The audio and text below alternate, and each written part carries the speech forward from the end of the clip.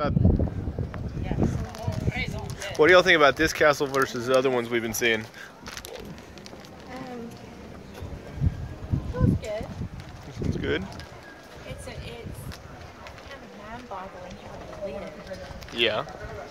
compared to some of the other castles. What about you, Dad? took it like I gotta walk over. because, because they had all the literature, all the information about it. Do what now? I like Inveraray because they had all the information about it. Yes, sir. The loss of heads. Uh, uh, lineage. So, just told a little and then moved on. True. But it's amazing what all happened here with the Bible. Taking Oh. Yeah. This side, Yeah.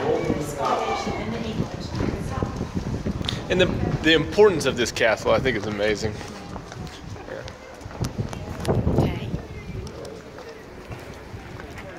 John? Uh, I'd say the importance of this castle makes it amazing for history. Yes. And the, I mean, just the architecture. Look at these, this portico behind us, these gates behind us. Big round turret. Be turrets, right? Countries with Jonathan